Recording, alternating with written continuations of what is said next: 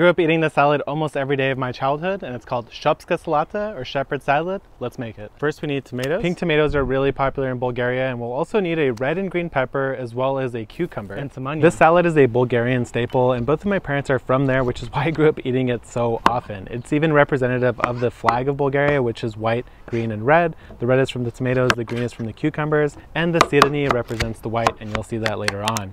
To make the salad, just dice up all your vegetables and throw it in a bowl. The green peppers give you a really nice, fresh, crispy flavor that's not just sweet like the red peppers and tomatoes. The onion gives you a nice contrasting sharp bite. And of course, we want to dress it all up with some sort of olive oil, some salt, and then we're going to get a nice block of sirene, which is similar to feta, but it is much fattier, it's not dry, and it's technically not a feta, but it is oftentimes sold as Bulgarian feta. And if you ask any Bulgarian, the juice there at the bottom of the bowl is probably the best part of the salad. You just need a piece of bread to soak it all up with, and it will be the most delicious piece of bread you ever ate. Perfect.